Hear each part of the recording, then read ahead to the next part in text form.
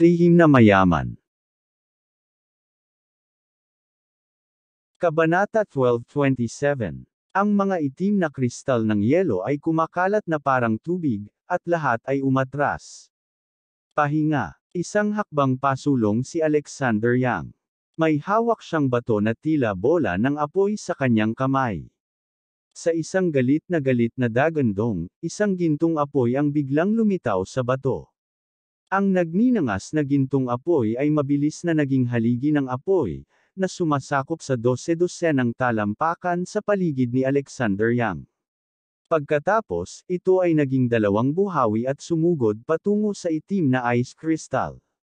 Dugo ng Golden Crow. Ang kakaibang bagay na ito na nakuha ni Alexander yang mula sa pagpatay kay Gan Laosi ay higit na lumampas sa lakas na ipinakita ni Alexander yang sa mga kamay ni Gan Laosi.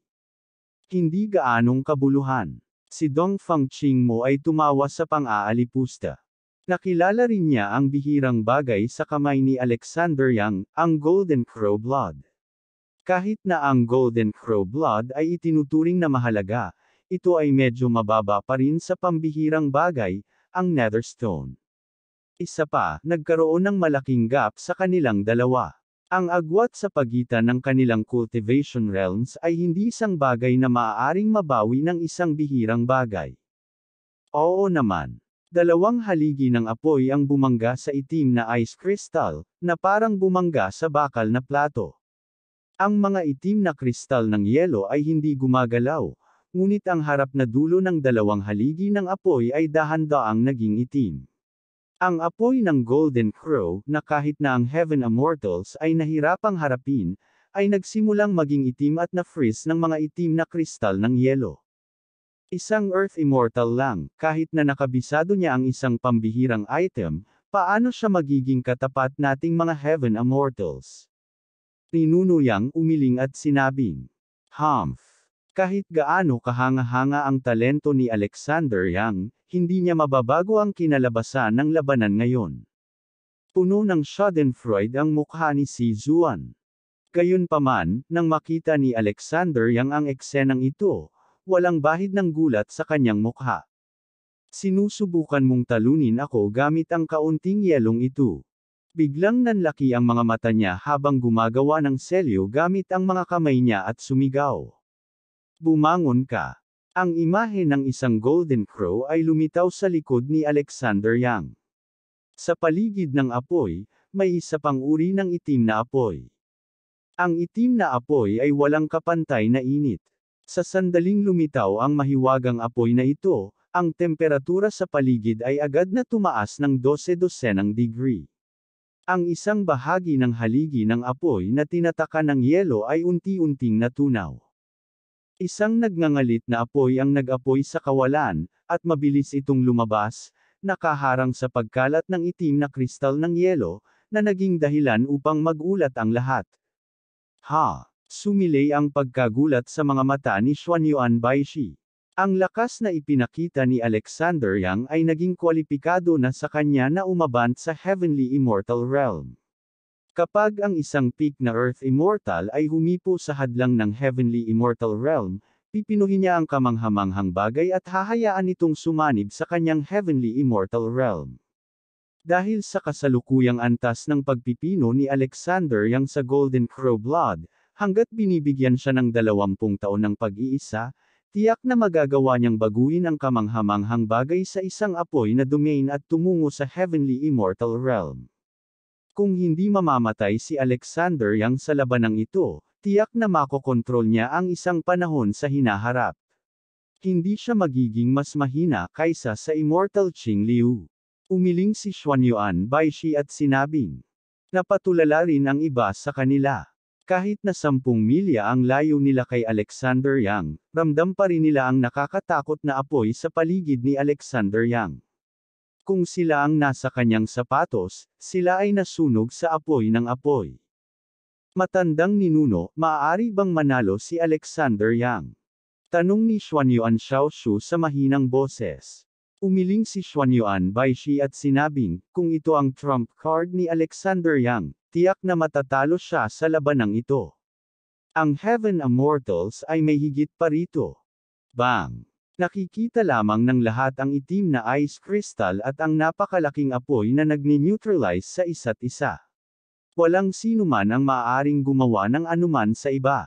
Ang paligid na walang laman ay patuloy na nabasag at muling naayos bago muling nabasag.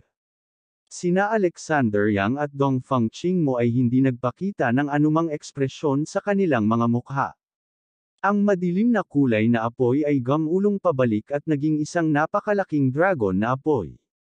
Ang itim na yelong kristal ay hindi mainit o mainit, at dahan-dahan itong umatake sa dagat ng apoy.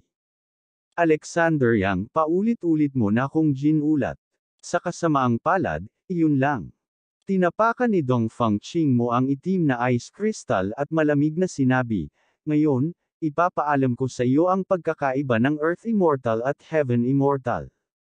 Kasabay nito, iwinagayway ni Dong Fang Chingmo ang kanyang kamay at sumigaw, maghiwa-hiwalay.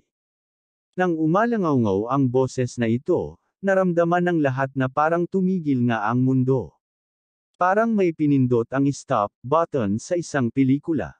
Sa East Greenwood bilang sentro, sa loob ng radius na 10 kilometro, ang lahat ng buhay, kabilang ang mga halaman, tao at mga espiritong hayop, hangin, ulap, at maging ang spiritual energy formation, ay tumigil sa paggana. Para silang nagyelo sa sandaling ito. Ang dagat ng apoy na pumuno sa langit ay naglaho rin sa isang buntong hininga.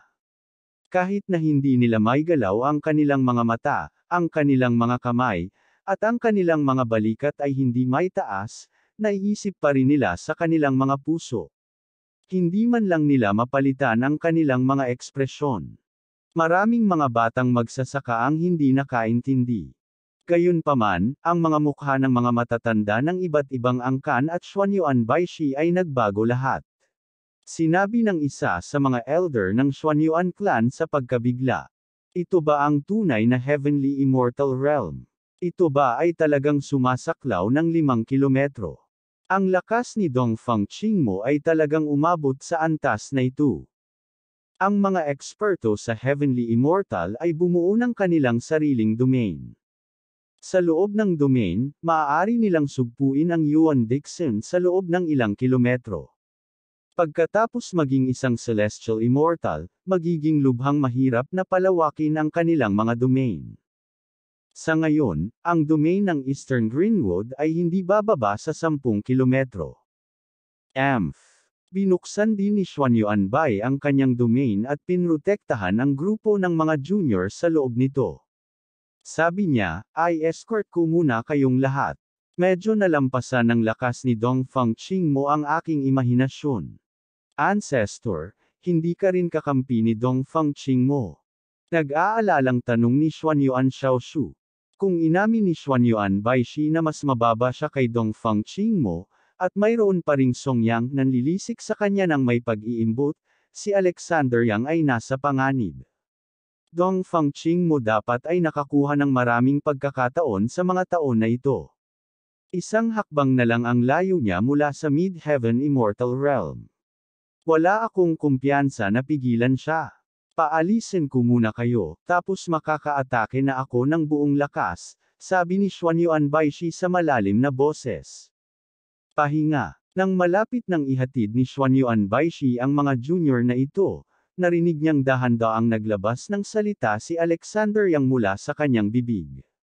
Sa sandaling binigkas ang salitang ito, ito ay parang biglang pumalakpak ng kulog. Muling lumitaw sa kanyang katawan ang anino ng Golden Crow. Ang anino ng Golden Crow ay winisika ng mga agos ng liwanag ng bituin, na nagmistulang buhay ang Golden Crow. Sa sandaling ito, may mga daloy ng itim na daloy ng hangin sa itaas ng Golden Crow, na naghihiwalay sa kapangyarihan ng domain ni Dong Fang Chingmo. Paano ito nangyari? Sa wakas ay nagbago ang ekspresyon ni Dong Fang Chingmo. Ito ang unang pagkakataon na nakakita siya ng Peak Earth Immortal na ganap na nabukod ang kanyang domain. Normally speaking, ang isang Peak Earth Immortal ay kayang ganap na ihiwalay ang kanyang domain. Siya ay isang walang talo na pag-iral sa kanyang nasasakupan. Maaaring sirain siya ng isang Peak Earth Immortal Realm expert sa pamamagitan ng isang alon ng kanyang kamay. Tumalabas na kahit isang Heaven Immortal ay bahagyang mas malakas kaysa sa isang Peak Earth Immortal Realm expert. Kung walang domain, hindi ganoon kalaki ang agwat sa pagitan natin at ng Peak Earth Immortal Realm expert. Sabi ni Alexander Yang na may malamig ng ngiti. Kung ang domain ni Dong Fang Ching mo ay hindi ang ice domain, marahil ay hindi niya magagawang ihiwalay ang pressure mula sa domain ng ganoon kadali. Gayunpaman, kasama ang Mystic Crystal Star Core sa kanyang kamay, ang ice domain ni Dong Fang Ching mo ay hindi maaaring banta sa kanya.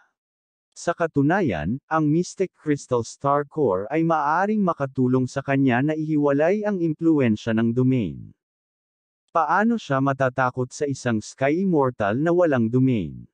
Tumingin siya kay Dong Fang Ching Mo. Sumilay sa mga mata ni Alexander yang ang nakamamatay na hangarin. Humakbang siya pasulong. Sa isang twist ng Autumn Water Sword sa kanyang kamay, isang maliwanag na liwanag ng espada ang naputol. Sa pag-activate ng Heavenly Cycle Stellar Art, ang ningning ng espada ay naging meteor at winasak ang kawalan, nag-iwan ng gintong bitek sa pagitan ng langit at lupa. Direkta itong tumagos sa proteksyong mahiwagang artifact ng Eastern Green Gate, na nag-iwan ng hiwa sa kanyang pisngi. Bumagsak ang mga patak ng dugo. Abangan. Ang susunod na kabanata.